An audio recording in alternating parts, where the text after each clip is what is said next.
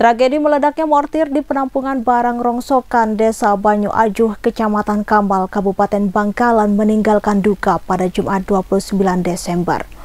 Total orang yang menjadi korban, satu orang meninggal dunia, lima orang menderita luka dan sebanyak lima unit rumah mengalami rusak berat. Korban meninggal dunia yakni Gugus 55 tahun, warga Kampung Bedak Timur, Desa Banyu Ajuh, Kecamatan Kamal. Dua korban luka berat bernama Suryanto, 46 tahun, warga Desa Banyu Ajuh, dan Rizka, 17 tahun, warga Perum Cendana. Sementara tiga korban luka ringan yakni Ika, 35 tahun, warga Kampung Baru, Desa Kecamatan Kamal, Siti Hamah, 46 tahun warga Kampung Baru, Desa Kecamatan Kamal, serta Nyonya Joni warga Kecamatan Kamal. Dan berikut wawancara Kapolres Bangkalan AKBP Febri Isman Jaya. Kronologinya seperti apa itu yang terjadi hasilnya? Iya, tadi pagi itu sekitar pukul 8 lewat ya kejadian itu ada peristiwa uh, meledaknya uh, yang diduga ya, sejenis mortir. Awalnya itu kan uh, di tempat penampungan, ya penampungan uh, barang rosokan, di mana barang itu diambil dari dibeli dari seseorang. Dan ketika uh, ini memotong besi ternyata barang itu berada di bagian bawah.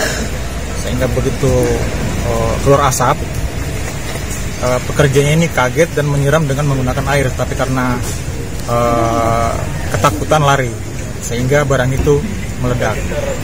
Ada, Ada berapa berapa motor yang meledak? Ya? Ada berapa yang meledak? Uh, hasil identifikasi sementara baru tiga. Berarti ada tiga ledakan. Uh, ledakannya belum tentu tiga, tapi ada tiga, ada tiga uh, sejenis mortir di situ. Dan saat ini teman-teman dari Gegana sedang melakukan olah TKB dari Puslapor dan Inavis juga ada di TKP sekarang. Berapa orang yang diperiksa?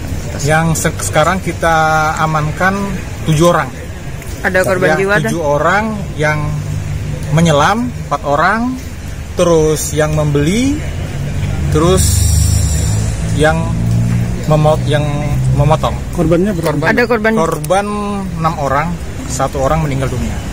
Lainnya luka-luka. Sekian luka-luka. Untuk motifnya itu jatuhnya di mana aja? Mortirnya sebagian ada yang di depan rumah uh, di depan TKP ya, depan rumah TKP. Terus satu ada di pelabuhan Kamal sana ya. Satunya Satunya di selongsongnya kami dapat di samping uh, apa namanya? Samping rumah rongsokan itu.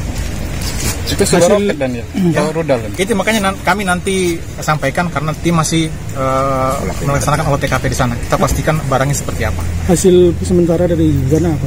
Hasil sementara dari Ghana itu merupakan uh, apa namanya uh, sejenis mortir lah seperti itu. Download Tribun X sekarang, menghadirkan lokal menjadi Indonesia.